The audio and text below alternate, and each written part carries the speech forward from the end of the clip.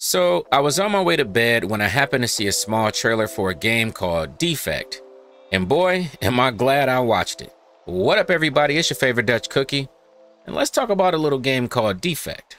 Now, Defect is four teams of four divided into police and gang factions, pit against one another, where the match is more than just killing enemies. And I quote, Engage in multiple objectives with multiple finales like collecting data, smuggling guns, and assassination missions as you fight in PvP and co-op modes. So we got PvP, co-op, assassination, like it's like Assassin's Creed meets extraction shit.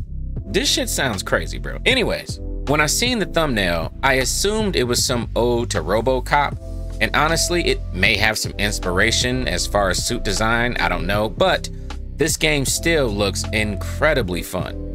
We only get a literal few seconds of actual gameplay, but I'm certain more will be coming in time. But even with the few seconds I seen, I was immediately like, yeah, I'm trying to play this, bruh. So the setting of the game is this. You are in the last city of mankind, where something called the system which is like crazy ass AI, is ruling over that city. And I'm assuming not in a good way. There's a few factions to choose from, including the actual policing force of the system, police who went rogue, or actual gangs. Plural, gangs with, with an S. Now, this doesn't seem to be a battle royale or a simple extraction shooter. From what I was reading, it feels more like how the Cycle played, I think, where each team goes into a match. There's missions to complete.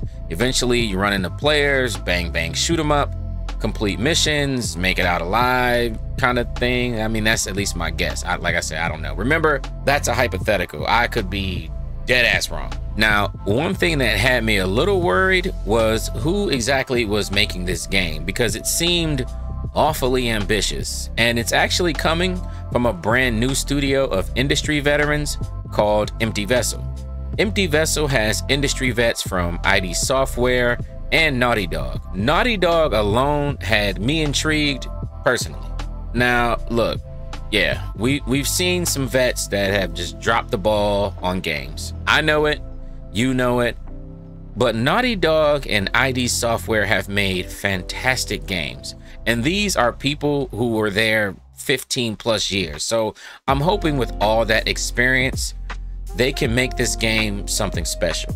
Now I've seen no word of a playtest like whatsoever, but I really wanted to put this on you guys' radar. So make sure you head to Steam, wishlist it, sign up for the newsletter.